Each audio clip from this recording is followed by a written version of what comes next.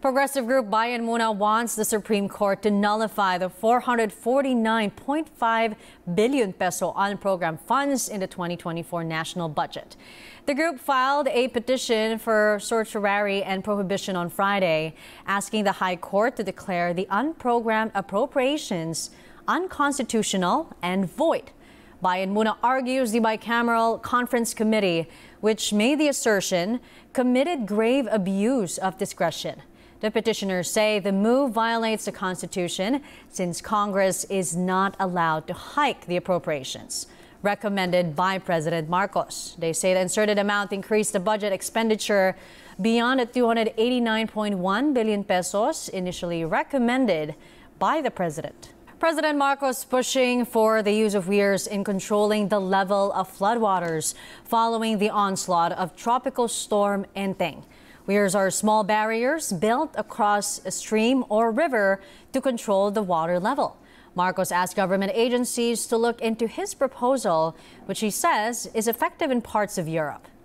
The chief executive made the pitch during a briefing on the damage caused by Enteng in the province of Rizal, where most of the fatalities caused by the storm were recorded.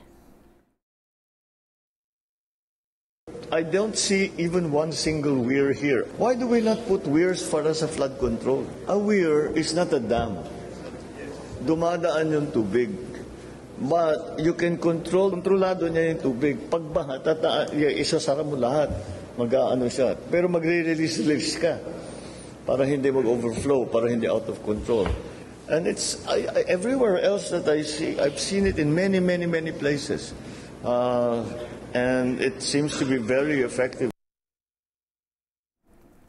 Meanwhile, the official death toll due to Enteng has risen to 16.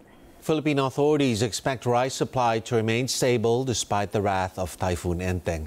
The Agriculture Department said the storm destroyed 659 million pesos worth of crops, mostly in the Bicol region. The agency also assured farmers of financial aid to cover their output losses. Bagamat uh, nakaranas tayo ng bagyong Enteng, uh, tinitiyak natin na sapat yung ating uh, supply ng bigas at mga pagkain sa ating uh, bansa uh, dahil maganda yung naging unang produksyon bagamat nakaranas tayo ng uh, El Nino. Sa ngayon, ASICDEL ay naglaan na kami immediately ng mahigit sa 200 million. Uh, ito yung ating standby fund para sa ating mga uh, binhi ng palay, mais at uh, gulay. Former Mayor Alice Guo allowed by the court to attend the Senate hearing on Monday. Capas Tarlac Regional Trial Court Branch 109 granted the request of Senator Risa Hontiveros to allow Guo to attend the hearing. Ontiveros formally requested Guo's appearance for the resumption of the upper chamber's hearing into Guo's escape and her links to the illegal offshore gaming industry. The dismissed Bamban mayor is placed by the court under police custody and ordered her to be detained in Camp Crame, as opposed to initial expectations that she will be detained at the Senate. Hontiveros, dismayed over this development, is now accusing the Interior and Local Government Department of filing a deliberately watered down case to wrest custody of Guo. The Philippine Bureau of Internal Revenue bent on tackling the illicit tobacco and vaping industry. During our one-on-one interview, BIR Commissioner Romeo Lumagui Jr. said they're going after all those involved in the smuggling of these products, starting from importers down to the retailers. The big uh, taxpayers, these big fish, uh, so-called, the importers, especially for the vape products and the mm. tobacco industry, they will not have any business if the retailers won't support them. That's why we will go also against them.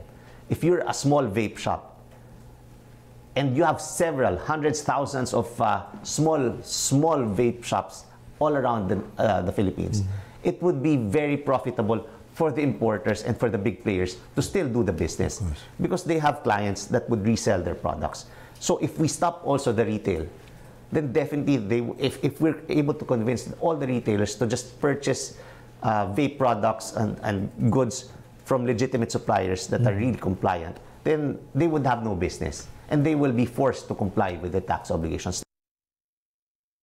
When asked about his, uh, what his legacy would be when the time comes for him to step down from the job, this is what Lumagui had to say. I want to be seen as uh, the commissioner who was able to implement a lot of institutional changes, not just uh, those uh, temporary changes that uh, would change from time to time. And I also like to be remembered as uh, the commissioner who, who always do the right thing.